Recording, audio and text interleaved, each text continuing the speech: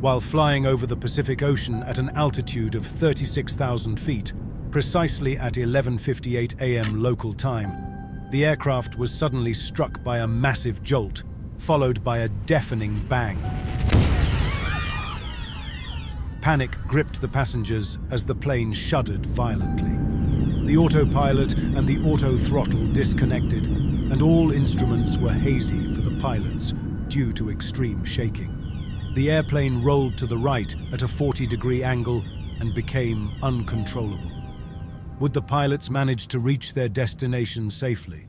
Or were they doomed to a tragic fate in the ocean's depths?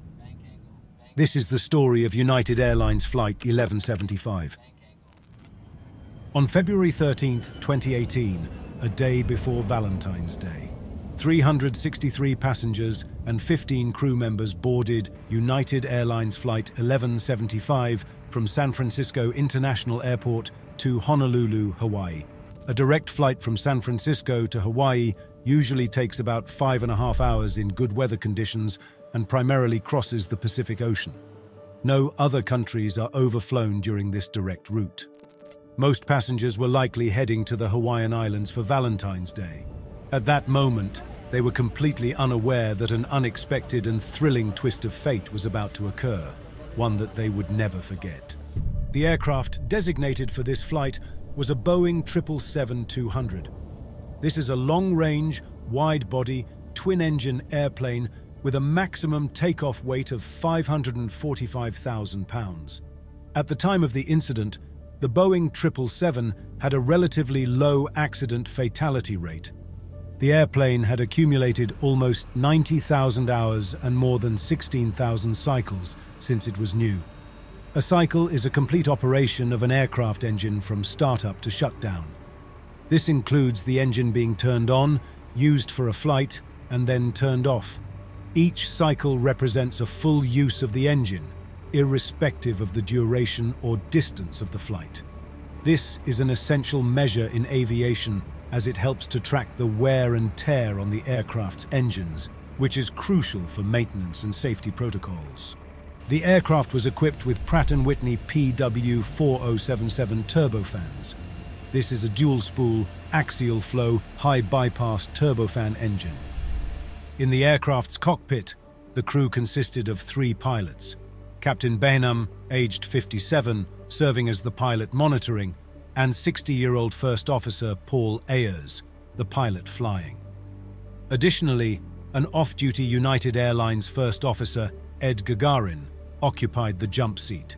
Captain Benham had accumulated more than 13,000 flight hours, of which 360 were on the Boeing 777.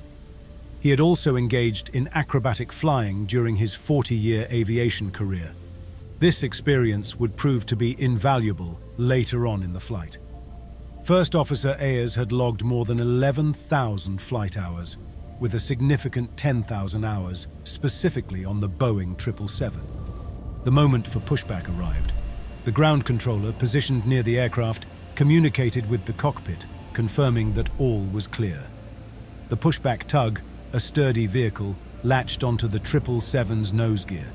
Smoothly and efficiently, it began to push the aircraft back from the gate.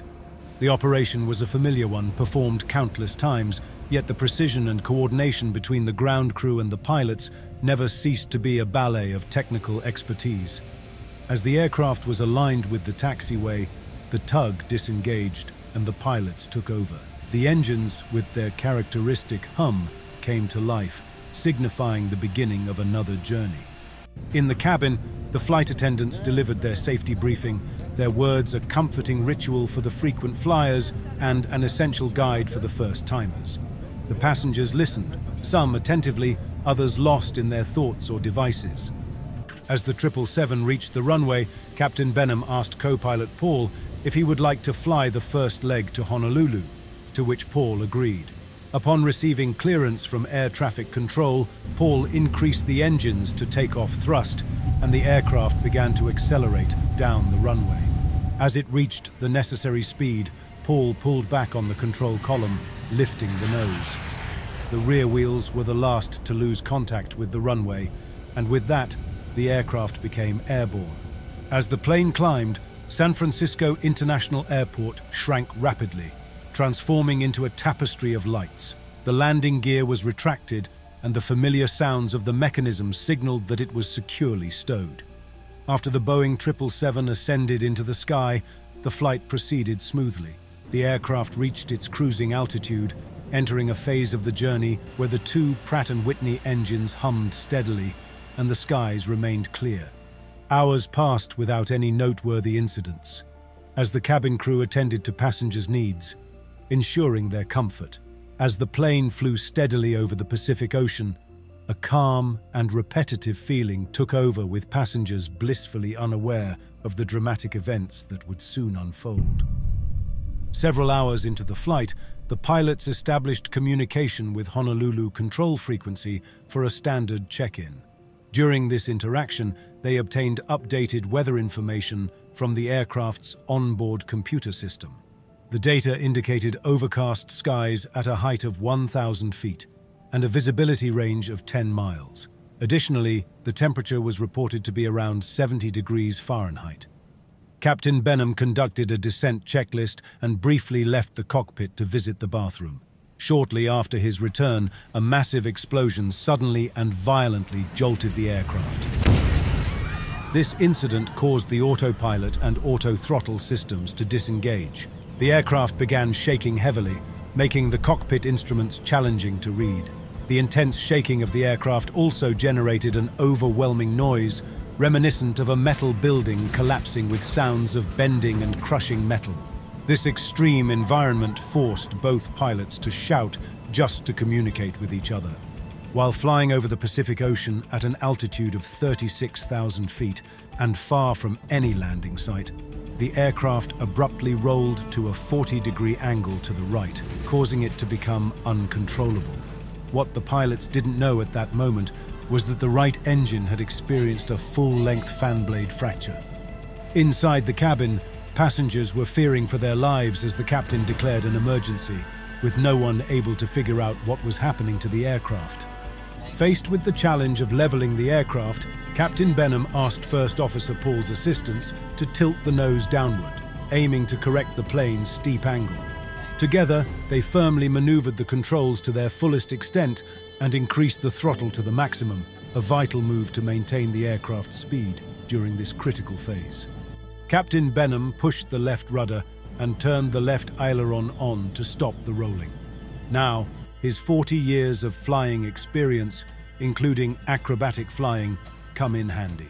He intuitively sought a critical balance point to maintain flight and prevent a descent into the ocean. Amidst uncertainty about the jet's malfunction, he skillfully adjusted the plane's nose. He stabilized its altitude and roll, realigning the aircraft to its standard flight path. In the initial 30 seconds following the incident, Captain Benham and his co-pilots were uncertain about the jet's condition as the engine instruments displayed regular readings. This left the cause of the aircraft's instability a mystery.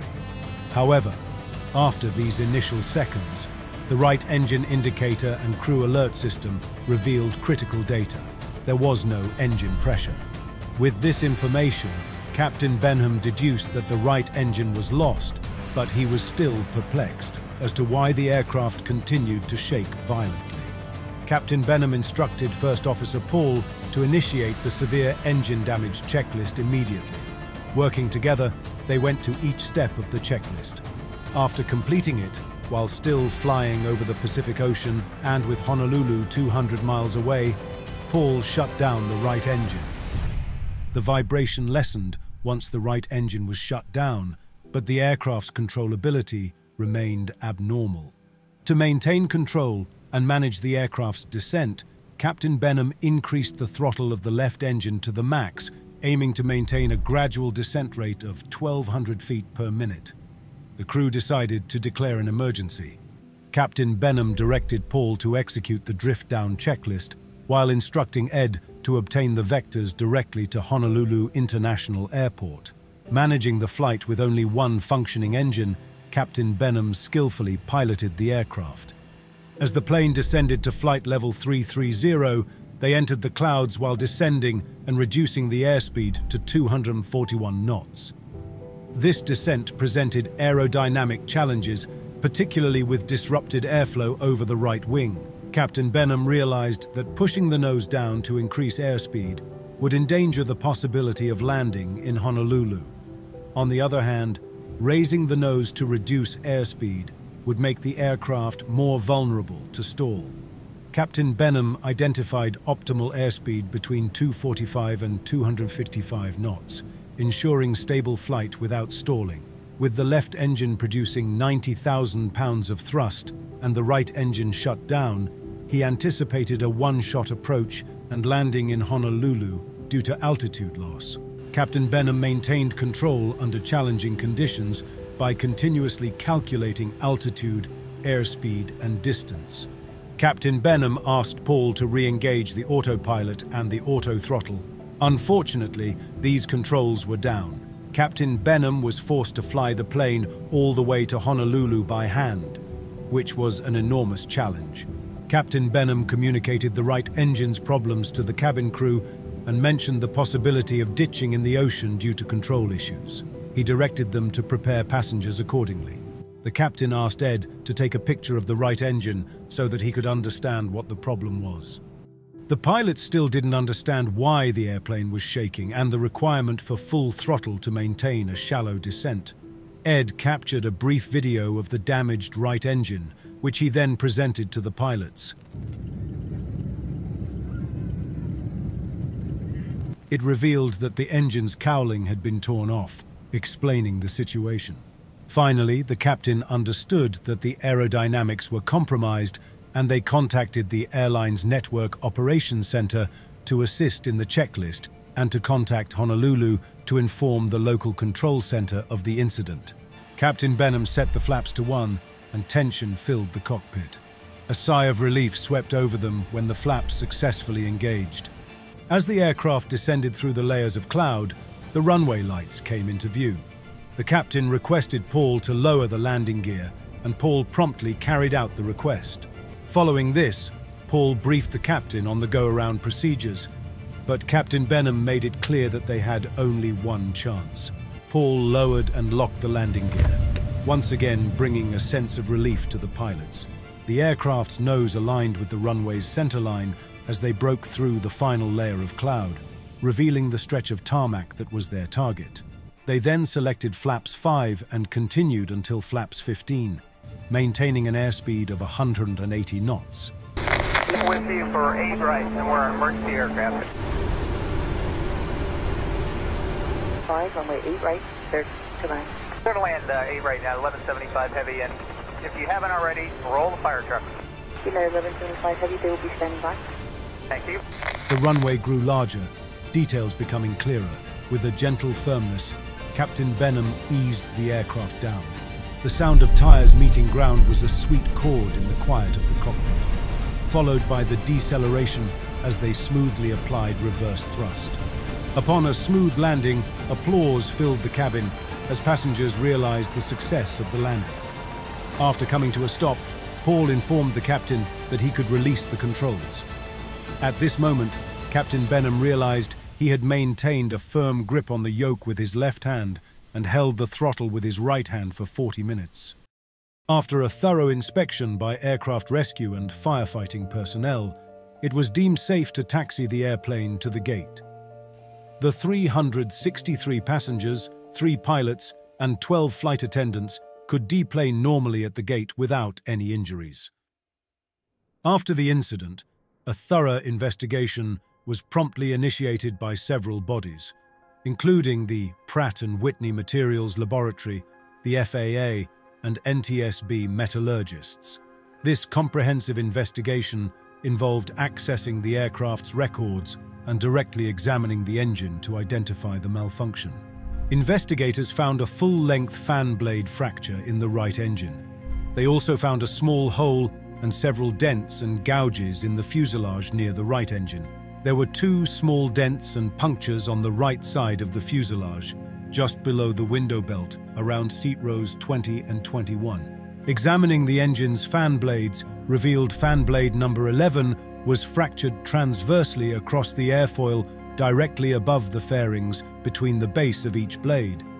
The other fan blade, which was identified as fan blade number 10, was fractured across the airfoil at about midspan.